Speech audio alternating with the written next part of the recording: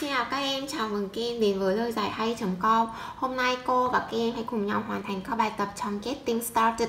Trang số 16, Unit 7, Cultural Diversity trong sách giáo khoa tiếng Anh lớp 10 mới. Sau đây cô và các em sẽ cùng nhau lắng nghe đoạn hội thoại trong sách giáo khoa về chủ đề Weddings in Vietnam có nghĩa là đám cưới ở Việt Nam nhé. Chúng ta hãy cùng nhau lắng nghe nhé. Unit 7 Cultural Diversity. Page 16 Getting Started Activity 1 Listen and read. Hi, Kevin. What are you reading? Hello, Maria. I'm reading a book about Vietnamese weddings. I see. Do you need the information for a school assignment? Yes, I'm preparing for my presentation about the similarities and differences between a traditional Vietnamese wedding and a modern one. That's interesting. So, what are the similarities? Both weddings include the proposal ceremony, the engagement ceremony, and the wedding ceremony. And the differences? The ceremonies are less complicated in modern weddings. Sounds better. I guess the bride and groom will be much happier if they don't have to waste money on unnecessary things. Well, in fact, wedding expenses these days are much greater than in the past. Why's that? What's the biggest cost? The reception is the most expensive, especially if it is held in a big hotel. I guess the couples get support from their families. Yes, of course. Some parents cover most expenses of the wedding. The bride and groom also get money as presents from the guests. Sounds good. They're surely the happiest people on their wedding day, no matter what the costs are. That's true. Well, I have to go now. Good luck with your presentation. Goodbye. Như vậy cô và các em đã cùng nhau lắng nghe xong phần audio và chúng ta sẽ cùng đến với phần 2 What is the conversation about? Có nghĩa là đoạn hội thoại này là về vấn đề gì? Đáp án A, The Vietnamese weddings, có nghĩa là đám cưới ở Việt Nam Đáp án B, The Vietnamese superstitions là sự mê tín của người Việt Đáp án C, The Vietnamese idea of success, tức là quan điểm của người Việt về sự thành công thì chúng ta thấy đoạn hội thoại này từ khóa wedding được lặp đi lặp lại, đúng không nào? Uh, I'm reading a book about Vietnamese wedding. Tôi đang đọc một cuốn sách về đám cưới của người Việt Nam. Rồi thì chúng ta sẽ có các từ Vietnamese wedding xuyên suốt trong suốt đoạn hội thoại. Chúng ta sẽ chọn đáp án đáp án A đúng không nào? The Vietnamese wedding. Bây giờ chúng ta sẽ chuyển sang phần task 3 Phần hoạt động số 3 Read the conversation again and answer the questions. Có nghĩa là đọc bài đàm thoại một lần nữa và trả lời những câu hỏi. Câu hỏi đầu tiên của chúng ta là, Why is Kevin reading a book about Vietnamese wedding? Có nghĩa là tại sao Kevin lại đọc sách về làm cưới của người Việt? Thì chúng ta hãy xem lại đoạn hội thoại nhé. Phần trả lời của Kevin. Kevin trả lời, khi mà được Maria hỏi là Do you need the information for a school assignment? Có nghĩa là có phải bạn cần thông tin cho uh, bài tập về nhà ở trường không? Thì Kevin đã trả lời là Yes, I'm preparing for my presentation about the similarity and differences between a traditional Vietnamese wedding and a modern one. Tức là Kevin trả lời là đúng vậy, mình đang chuẩn bị một bài thuyết trình về sự giống và khác nhau giữa một đám cưới Việt Nam truyền thống và hiện đại. Thì tức là chúng ta có thể dùng phần này để trả lời cho câu hỏi số 1 đúng không nào?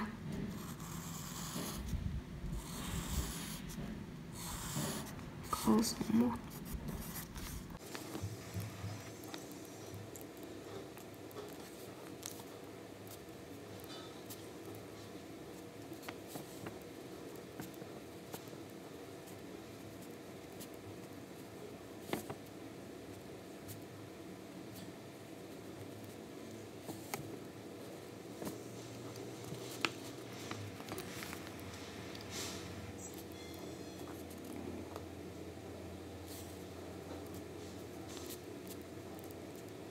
1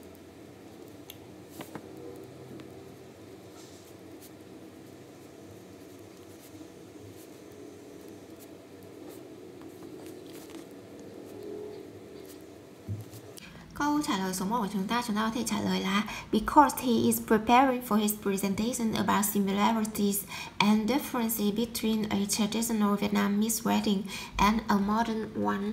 Có nghĩa là bởi vì cậu ấy đang chuẩn bị cho bài thuyết trình về sự giống và khác nhau giữa đám cưới truyền thống và hiện đại của người Việt. Câu hỏi số 2 của chúng ta là, What are the similarity between a traditional Vietnamese wedding and a modern one? Tức là đâu là sự giống nhau giữa đám cưới truyền thống và hiện đại của người Việt? Thì chúng ta sẽ tìm phần trả lời trong đoạn hội thoại nhé thể trả lời là khi mà Maria hỏi là So what are the similarities có nghĩa là điểm giống nhau là gì thì Kevin trả lời là Both weddings include the proposal ceremony, the engagement ceremony and the wedding ceremony. Đây là đặt phương án chúng ta sẽ trả lời cho câu số 2 và sẽ cùng nhau trả lời câu số 2 nhé.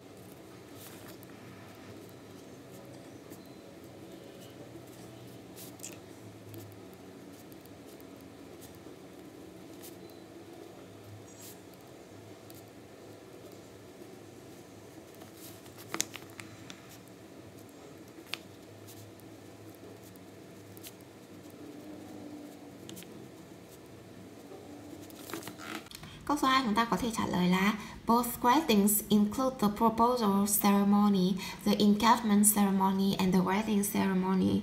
Tức là cả hai đám cưới đều có lễ dạng ngõ, lễ đính hôn và đám cưới. Câu hỏi số 3 của chúng ta How have a wedding ceremony changed? Có nghĩa là đám cưới đã thay đổi như thế nào? Những cái lễ nghi trong đám cưới đã thay đổi như thế nào? Chúng ta sẽ xem phần hội thoại chúng ta sẽ xem phần thông tin nhé um, à, Maria hỏi là and the differences có nghĩa là sự khác nhau là gì? Thì Kevin trả lời the ceremonies are less complicated in the modern weddings. Tức là cái phần các thủ tục nghi lễ thì sẽ ít phức tạp hơn ở trong đám cưới hiện đại. Chúng ta sẽ dùng phần thông tin này để trả lời cho câu số 3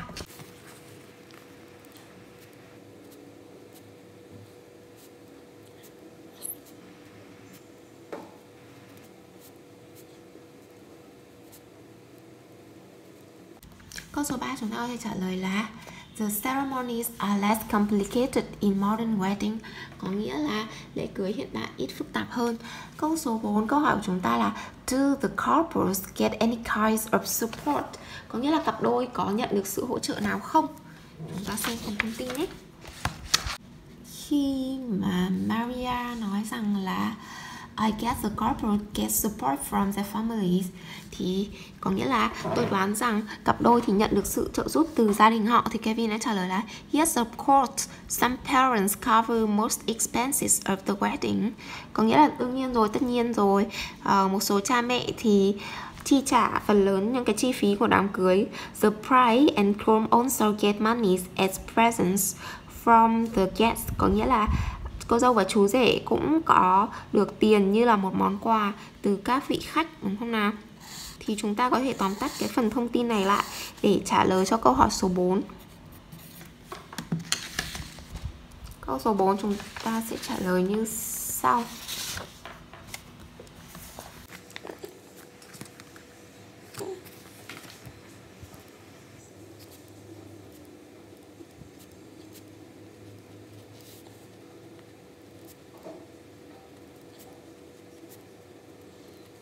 Chúng ta sẽ trả lời như sau Yes, they get support from their parents and guests Có nghĩa là họ nhận được sự hỗ trợ từ cha mẹ và khách Câu hỏi số 5 của chúng ta What do you think about these changes? Có nghĩa là uh, bạn nghĩ gì về sự thay đổi này? Câu số 5 của chúng ta chúng ta sẽ nêu cái suy nghĩ của chúng ta về những cái sự thay đổi đổi mới trong cái việc cưới xin này thì cô sẽ trả lời như sau. They make the ceremonies more interesting.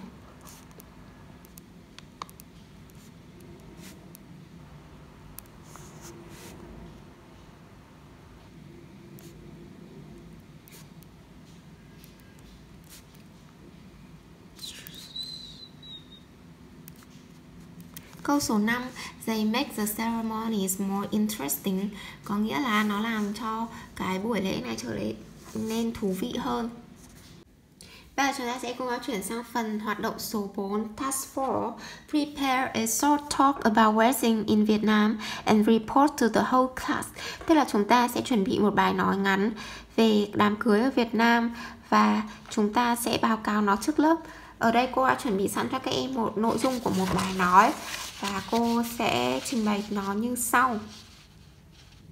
The wedding is one of the most important ceremonies in Vietnamese culture. It includes the proposal ceremony, the engagement ceremony, and the wedding ceremony. Today, Vietnamese weddings tend to be held at big hotels which cost quite a lot of money. However, the couple also receives support from the parents and guests. It can be said that the groom and bride are solely the happiest people on the big day no matter what the cost. Cái đoạn nói này nội dung của nó có nghĩa là đám cưới là một trong những lễ nghi quan trọng nhất trong văn hóa Việt Nam. Đám cưới bao gồm có lễ dạm hỏi, lễ đính hôn và lễ cưới. Ngày nay, đám cưới ở Việt Nam thường được tổ chức ở khách sạn lớn với chi phí rất là cao. Mặc dù vậy thì các cặp đôi cũng nhận được những cái sự hỗ trợ từ cha mẹ và những vị khách. Một điều có thể nói chắc chắn rằng cô dâu và chú rể là người hạnh phúc nhất vào ngày trọng đại của họ. Không cho dù chi phí có là bao nhiêu như vậy chúng ta đã hoàn thành xong phần hoạt động số 4 Cô và các em đã cùng nhau hoàn thành các bài tập trong phần Getting Started Unit 7 trong trang số 16 sách giáo khoa tiếng Anh lớp 10 mới, các em hãy truy cập vào lời giải hay.com để xem chi tiết các bài giảng tiếp theo nhé. Chúc các em học tốt. Xin chào và hẹn gặp lại các em trong các video tiếp theo.